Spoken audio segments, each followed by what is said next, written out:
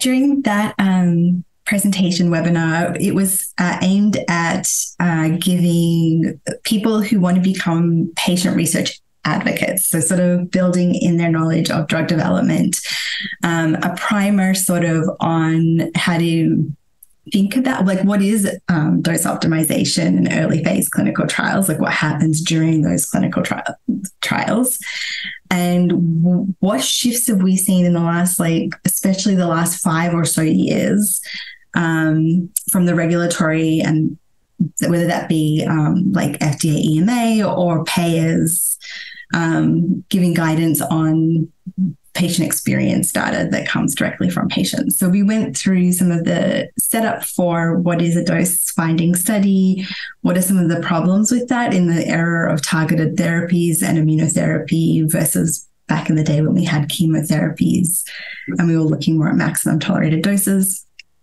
And so now that we're sort of pivoting um, just explaining those des- clinical trial designs and then explaining where patient experience data fits in and complements the clinician reported data. So, you know, at the moment, a lot of safety, all, all the safety data basically is clinician reported. And where does the patient report fit in? Could it you know, be more that you assess tolerability versus safety, and that those things aren't exactly the same, but they complement each other, um, and then how they can get involved. So, um, you know, whether that be through a IRB because there's always a layperson on IRB and you're able to review study documents through that.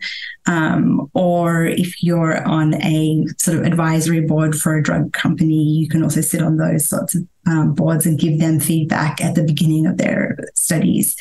And then we had two patient advocates present where they had actually done sort of work to disrupt areas in um, this dose finding area. So, one was a study that patients had carried out in metastatic breast cancer called the Patient Patient Centered Dosing Initiative. And so they explained their research work and some of the tips on how to do research as a patient research advocate, right? Because you know you don't know what you don't know. It can be tricky to set up a study if that's not what you've been trained to do.